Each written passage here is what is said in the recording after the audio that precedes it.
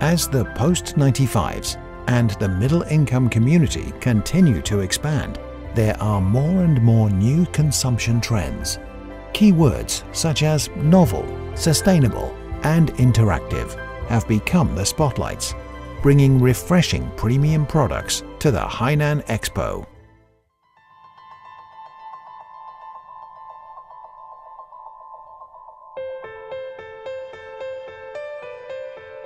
To make a garment of diamonds, how many diamonds are needed?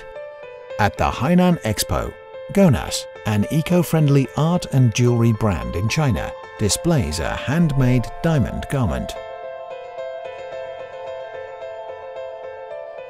那我们是花了两年时间，用了一万九千六百五十粒的钻来打造它。可以说这件是我们 目前这个消博会用钻最多的一件作品。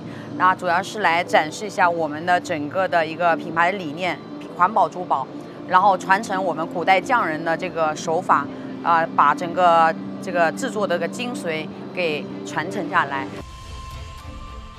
As a jewelry brand focusing on environmental protection. Gonas is well aware of the importance of sustainable development.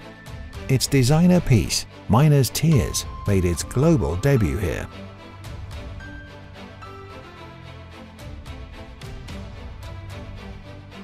The elaborate Miner's Tears is made of several synthetic eco-friendly materials, featuring a miner sitting in the colorful and radiant gem while shedding tears of sorrows it is a reflection on a man and nature and human civilization in the future.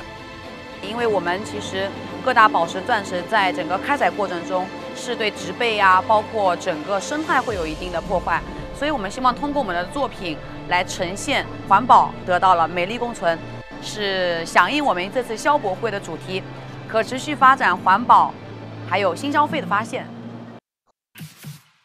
French enterprise Coty Inc.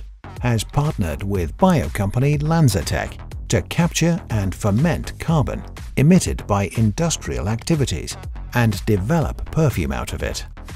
L'Oreal has set up a special exhibition, Beauty Protecting the Earth, to show its commitment to protecting nature and the earth through renewable packaging and environment-friendly ingredients. It has also joined the Global Sustainable Consumption Initiative.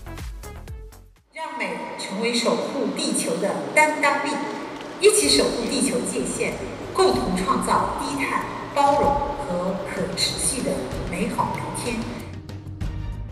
因为大家的生活的需求，才带来了更多的消费。